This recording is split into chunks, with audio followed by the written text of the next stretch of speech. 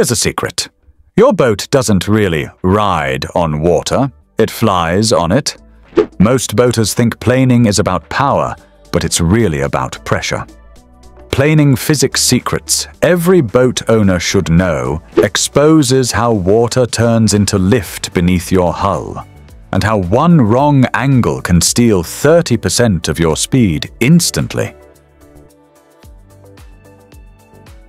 For boat owners, getting on plane is like entering a whole new world. Suddenly the noise quiets, resistance drops, and your boat surges forward effortlessly. But beneath that magic moment is pure physics. Planing is when your boat generates enough hydrodynamic lift to rise partly out of the water. You're no longer supported mostly by buoyancy, you're riding on speed-borne lift. Every hull design, engine setup, and trim angle is chasing that perfect balance where drag collapses and efficiency peaks. But here's the twist. Most owners don't really know why their boat planes the way it does. They just throttle up and hope for the best. And if you've ever wondered why your boat sometimes feels light and fast, and other times sluggish and stubborn, hit subscribe and tap the bell. We're about to decode the physics behind that feeling. Your boat operates in three distinct hydrodynamic states, displacement, transition, and planing. At displacement speed, your hull is fully supported by buoyancy. The water pushes back against your boat's weight, smooth, stable, but slow. As you throttle up, the bow rises, the stern squats, and drag skyrockets. This is the transition phase, the hill your boat must climb before planing. It's also where most fuel is wasted. Once you push past that hump, dynamic lift kicks in. Water flowing under the hull generates upward pressure, reducing wetted surface area. The boat lifts, friction drops, and suddenly you're gliding. That's planing. Every boat has a planing threshold, typically between 12 and 18 knots for smaller hulls. The faster you reach it, the more efficient your ride. The slower, the more fuel you burn fighting drag. It's not about power, it's about understanding the invisible hand of lift working beneath you. Every pilot knows angle of attack determines lift, and boats follow the same rule. When your hull planes, water meets it at a shallow upward angle. The flatter that angle, usually 3 to 5 degrees, the more efficiently you ride. Too steep, and you're ploughing. Too flat, and you lose lift and stability. Your trim and throttle control that angle. Trimming in pushes the bow down, helping you plane faster. Trimming out raises it, reducing wetted area once you're flying. But every hull has its sweet spot, a balance between lift and drag where the boat feels weightless yet planted. Think of it like this. You're not driving on water, you're managing an invisible wing. Get the angle right, and the boat levitates. Get it wrong, and the water turns to glue. The moment your hull starts to climb out of the water, you've entered hydrodynamic territory. Water rushing under your hull creates pressure differences, higher below, lower above. That pressure differential produces lift. The faster you go, the more lift is generated, but also the more sensitive your hull becomes to small changes in trim and weight. Flat-bottom boats plane easily because they have more surface area to generate lift. Deep V hulls need more speed because they displace more water before lifting.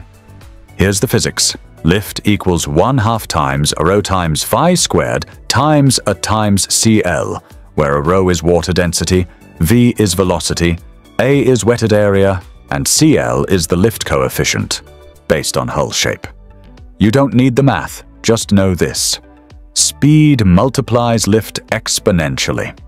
Double your speed, and lift increases fourfold.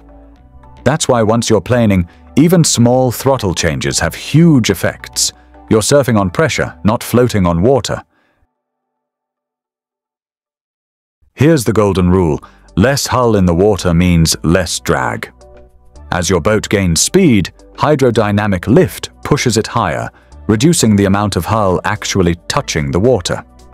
That's why planing hulls are designed with chines, strakes, and dead rise angles. They manipulate how water separates under pressure. At low speeds, almost the entire hull is wet, high drag. At planing speeds, maybe just the last few feet aft are touching water, low drag. That's also why boats feel lighter once on plane. Your engine's no longer fighting water's full resistance. It's the difference between walking through waist-deep water and skipping across the surface. But too little wetted area can make your hull unstable, causing chine walk or porpoising. Every hull designer works to find that sweet spot. Minimal drag, maximum control. When your boat planes, there's a point along the bottom where hydrodynamic lift is concentrated. That's your center of pressure.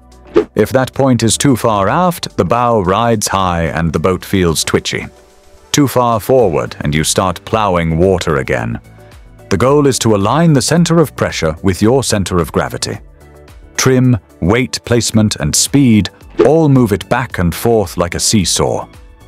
Ever notice how shifting a heavy cooler or a passenger changes how fast your boat planes? That's not imagination, it's physics. You're altering the balance between lift and gravity. Racers actually measure and tune this balance to the inch, because when lift and weight act perfectly in sync, the hull practically floats on air. That's the sweet glide every boater feels once in their life and never forgets. Planing isn't just about speed, it's about how your hull uses speed. Dead rise, the V shape of your hull, decides how soft your ride is. A deep V cuts through waves but needs more speed to plane. Chines, the sharp corners along the hull sides, deflect water outward, reducing drag and adding lift. Strakes, those long ridges running along the bottom, channel water flow, improving stability and helping the hull rise smoothly. Each design is a compromise between comfort, efficiency, and control. A flat-bottom skiff jumps on plane in seconds, but slaps hard in chop. A deep V offshore hull feels buttery in waves, but needs power to climb. The sweet middle ground? Semi-Vs and stepped hulls, they cheat physics by mixing both behaviors. So the next time someone brags about their ride quality, remember, it's not luck. It's geometry meeting physics at 40 knots.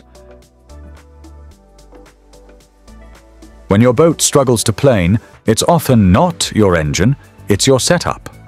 Trim tabs and planing plates work by altering your hull's effective shape. Lower them, and they act like wings, creating lift at the stern and forcing the bow down. Raise them, and they free up the hull for speed. Tabs are lifesavers in rough seas too. You can drop one side slightly to level the boat or both to help heavy loads plane faster. Physics-wise, they increase the effective surface area producing lift at the cost of a little drag. It's a trade every smart boater makes gladly when the alternative is wallowing like a bathtub. If your boat struggles to get on plane, don't reach for a bigger prop just yet. Reach for your tabs they might be worth 50 extra horsepower in the right hands. That awkward moment when your bow's high, visibility low, and your passengers are holding their drinks in fear. That's the transition zone. Here's what's happening. As speed increases, lift starts to build aft. The bow rises as the stern digs in, increasing drag dramatically. Your engine's working hardest here. The key is managing throttle and trim together. Keep the trim down until you feel the bow break over, that moment when resistance suddenly vanishes and the boat flattens. Then trim out slightly to maintain efficient running angle. Too much throttle too fast? You'll just waste energy and fuel. Too little, and you'll stay stuck in displacement purgatory. This isn't brute force, it's timing. Planing is a conversation with the water and patience wins every time. Load your boat wrong, and you're fighting physics blindfolded. Too much aft weight and your boat struggles to lift its stern. Too much forward and it plows endlessly. Even small shifts matter. 200 pounds in the wrong place can change your trim angle by several degrees. Heavier loads also increase the planing threshold. More weight means you must displace more water before lift can overcome gravity. That's why a lightly loaded hull jumps up instantly, while a full fishing rig groans before breaking free. The fix is simple. Balance your load along the longitudinal axis, keeping heavy items low and central. This helps your center of gravity align with the planing surface, letting lift do its work efficiently. Smart loading equals smart planing, and it's completely free horsepower. Porpoising, that rhythmic bounce, is planing's dark side. It happens when lift moves too far aft, creating an unstable feedback loop between hull and water. As the bow rises, lift shifts back, dropping the stern. When the bow falls, lift moves forward, pushing it back up. The cycle repeats. Solutions? Trim in slightly, move some weight forward, or lower trim tabs. All three bring the center of lift forward, restoring equilibrium. Porpoising is physics trying to tell you something, that your center of gravity and center of pressure are out of sync. Ignore it, and you're not just uncomfortable, you're wasting performance and risking control. Every planing hull fights one enemy, drag. At low speeds, it's mostly form drag from pushing water aside. At planing speeds, it becomes skin friction, resistance over the wetted area. Here's where physics plays its trick.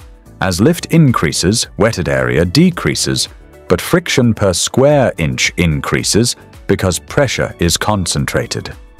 That's why boats reach a speed plateau where more throttle gives minimal gain. You've hit the balance point between lift and drag. Clean hulls, polished props, and proper trim can all shift that plateau higher.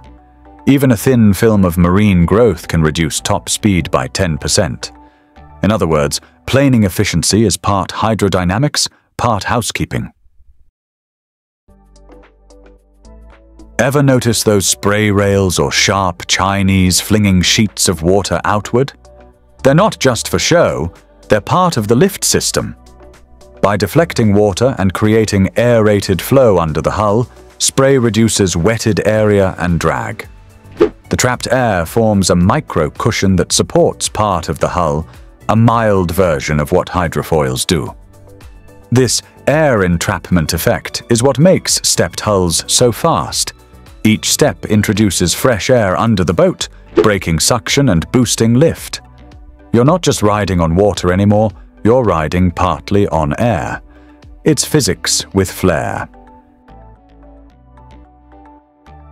If planing is gliding, hydrofoils are flying. Foils lift the hull completely out of the water, eliminating almost all drag. The same lift equation applies, but now the wing is underwater. That's why a 90 horsepower foil boat can outrun a 150 horsepower planing hull. It's pure efficiency, nearly 70% drag reduction. The catch? Stability and cost. Foils require precise balance and control systems but they prove the ultimate point. The less hull touching water, the faster and smoother the ride. Hydrofoils are planing perfected, the logical next step in the quest for zero drag. Modern boats are learning to think. Active hull systems use sensors to adjust tabs, ballast, and trim automatically to maintain optimal planing attitude. Yamaha's Helm Master Volvo's automatic trim assist, and Mercury's active trim constantly monitor speed, load, and pitch. They're like autopilot for lift, applying micro adjustments every second to keep your boat perfectly balanced. As AI and automation evolve, planing physics won't disappear, it'll just go digital. The captain's intuition will meet the computer's precision, and planning will become effortless perfection. Planning isn't just speed, It's science at its most thrilling. It's the moment your boat breaks free of gravity's grip and start surfing on pressure and motion. Every time you feel your hull rise, you're feeling physics doing its best work. Once you understand how planing really works, lift, drag, and balance, you'll never just throttle up again. You'll fly smart. If this video helped you see your boat differently, hit subscribe, tap the bell, and drop a comment with your boat's planing speed. I read everyone. Until next time, keep your trim steady, your hull clean, and your planing smooth.